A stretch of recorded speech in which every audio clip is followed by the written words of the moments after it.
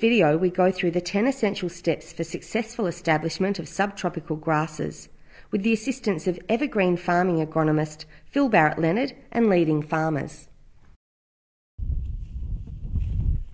Farmers in Western Australia's northern ag region now have access to a reliable package for establishing subtropical perennial grasses. The key elements are furrow sowing to overcome non-wetting soils, reliable time of sowing being spring, and improved weed control to reduce competition. Overcoming these three issues has seen a very reliable package developed Farmers using this establishment package are now achieving excellent establishment right across their paddocks, just like this one.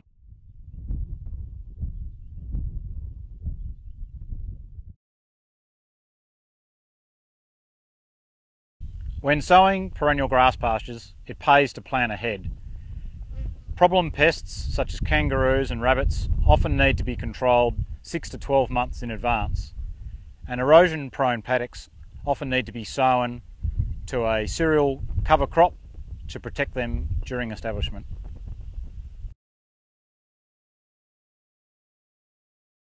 Panic and Rhodes grass are the two most commonly sown subtropical grasses north of Perth. Panic is the standout due to its palatability and drought tolerance. Rhodes grass is very useful for soil stabilisation the two are commonly sown together as they complement each other well.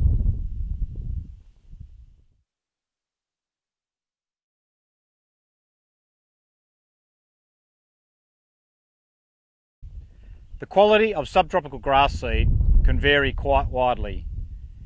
It can range from anywhere as low as 10% to as high as 70%, but a typical figure is often 30 to 50%. Seeding rates need to be adjusted according to seed quality. Dormancy can be an issue with panic grass. It pays to look at the seed certificate and especially look at the fresh seed figure. Fresh seed equals dormant seed. Dormancy does break down over time. Typically takes six to nine months to do so. It can pay to purchase seed that was harvested in Queensland the previous year for sowing this year in Western Australia. Subtropical perennial grass seeds often come coated. The coating helps them flow through seeding machinery, which can be a real advantage with a species like Rhodes grass, where the seed is very fluffy and difficult to, to get to flow through the machinery. The disadvantage of coating is that it reduces the number of seeds per kilogram, making it more expensive.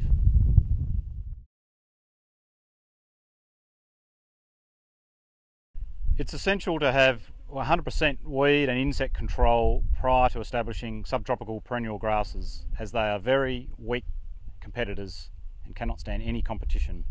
When we're trying to get good establishment, the most important things is your weed control prior to sowing, especially broadleaf weed control, cape weed, uh, radish in particular. I've got a real snout on radish and Paterson's curse.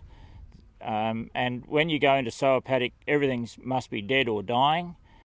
It's important to leave some ground cover after seeding on erosion prone soils to minimise the risk of erosion. Um, this can be achieved by um, a different spray, spray strategy, um, leaving more grass, and the other option is to sow a cereal the year before planting perennials and sow into the stubble left over.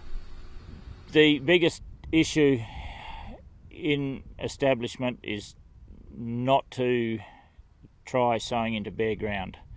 If there's not a little bit of dry matter there to hold the soil together while the uh, perennials are getting established, we're getting we, we get blows, and uh, yeah, you're worse off than you are to start with if you if that happens to you. The ideal spray program prior to establishing perennial grasses involves a broadleaf spray six to eight weeks before sowing to remove all broadleaf weeds, followed by a glyphosate based knockdown spray a few weeks before sowing. This means that there's some grass remaining in the paddock at sowing to minimise the risk of erosion.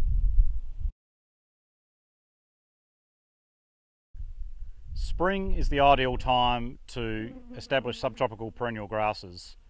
They require rising soil temperatures and moisture to germinate. In spring, soil temperatures are rising all the time, but moisture is declining, so there's a trade off. Uh, going early may mean more moisture but inadequate soil temperature, whereas going later may mean temperatures are adequate but moisture is limiting. In the northern ag region, the further north you are, the earlier you sow. So around Geraldton, often early to mid-August. From Dandaragan to Geraldton, often mid to late August. And around Gingin and Dandaragan, often late August to early September is the ideal time. I'd say the key things to avoid that I've found with establishment of uh, perennials is um, not to go too late. Is the seasons we've had, the seasons have uh, stopped quite suddenly, and, and a few seasons we just didn't have a spring. And so I'd rather go in early, as in um, mid-August, even early August. So it can just sit there and wait and if it does cut off early, which it has been doing lately, um, it still get a bit of rain. There is a stop go decision point at this stage, which depends on the prevailing seasonal conditions. If stored soil moisture is limiting, consider deferring sowing until the following year. Probably avoid sowing them if you haven't got a good moisture bank there because you can run into a bit of trouble. You can actually start to get uh, wind erosion on your seeded plots if there's not enough moisture to germinate them.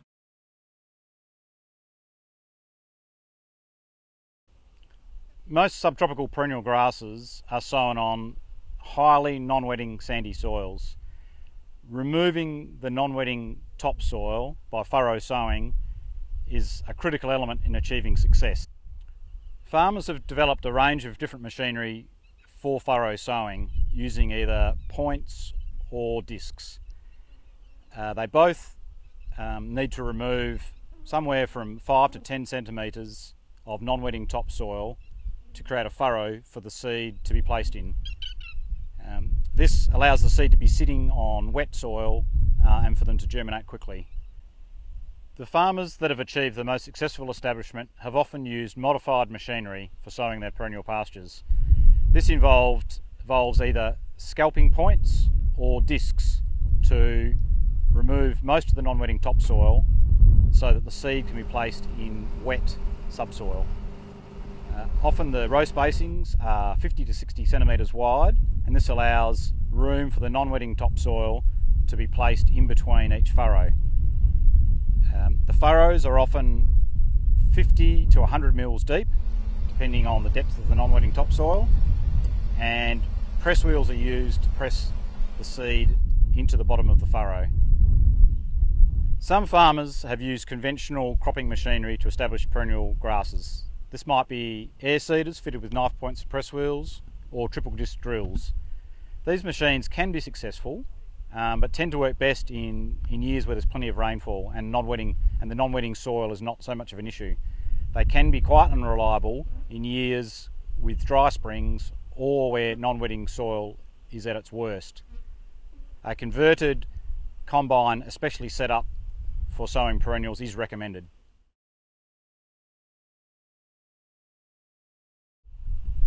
Subtropical grass seed is not cheap, so it's important to calibrate the seeder to ensure the correct sowing rate is used.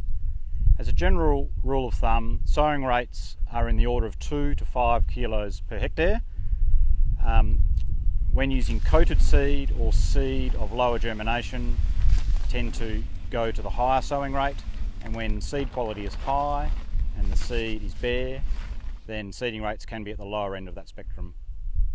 Subtropical grass seeds are very small and need to be sown shallow. We tend to recommend a seeding depth of 5 to 10 millimetres. Rhodes grass doesn't like germinating from depth, so favours a shallower seeding depth whereas panic grass can germinate from a little deeper. One of the issues when furrow sowing is the potential for sand infill in the furrows. This should be avoided if possible by maintaining ground cover on the paddock. If a large amount of sand infill does occur, it's more likely that a greater percentage of panic will germinate and less Rhodes grass.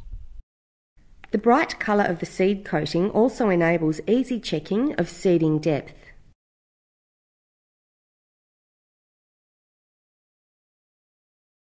When furrow sowing, speed can be a critical issue. The faster the machine is travelling, the more soil throw there is, which can potentially lead to furrow infill. Often, uh, tractor speed is between 5 and 10 kilometres an hour, which enables the soil from the furrows to be neatly placed in the interrow and not thrown into the adjacent furrow.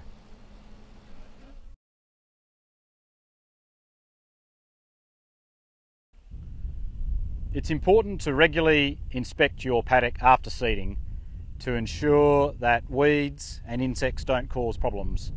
A number of insects can uh, attack subtropical grass seedlings, including aphids, cutworm, red-legged earth mite, and later on wingless grasshoppers. So regular inspection and spraying if necessary is important. The other issue can be weeds. Um, broadleaf weeds uh, such as radish, uh, cape weed, or summer weeds such as melons can be controlled with a selective broadleaf herbicide. Summer weeds such as melons can become an issue in newly sown paddocks, but the decision to spray needs to be carefully thought through. If the density of perennials is on the low side, then a few melons could be a good thing in that they provide ground cover to reduce the risk of erosion. But if the density of perennials is high, then it's an easy decision spray the melons and conserve the moisture for the perennial grasses. A subtropical perennial grass pasture should last a lifetime, so don't wreck it by overgrazing in the first year. If there's plenty of summer and autumn rain, then the initial grazing could occur as early as three to six months after sowing. But if the summer and autumn are dry and the plants are small and weak, then delay the initial grazing until at least the break of the following season, which is 9 to 10 months after sowing. If you don't flog it after, like, give it a chance to get established. Yeah. You know, maybe five or six months, I usually run a mob of sheep over it just to take the tops off it and sort of educate it, teach it to put its head down and stay close, rotate your grazing. Um, don't overflog it, just take the top two third off, leave a third behind, and you look after it, it'll look after you. In summary, the key steps for successful establishment of subtropical grasses are plan ahead, select well adapted species, buy good quality seed, 100% weed control while still maintaining ground cover at seeding, sow in late winter to early spring depending on the location, Use a seeder setup for furrow sowing with press wheels and a wide row spacing. Sowing 2 to 5 kilograms of seed per hectare at a depth of 5 to 10 millimetres. Use a suitable sowing speed to minimise soil throw into adjacent furrows. Regular post seeding checks for pests and weeds and ensure the grasses are strong and well anchored before the first grazing. For more information, refer to DAFWA Bulletin 4840, Establishment Guide for Subtropical Grasses, Key Steps to Success, and the other establishment videos in this series.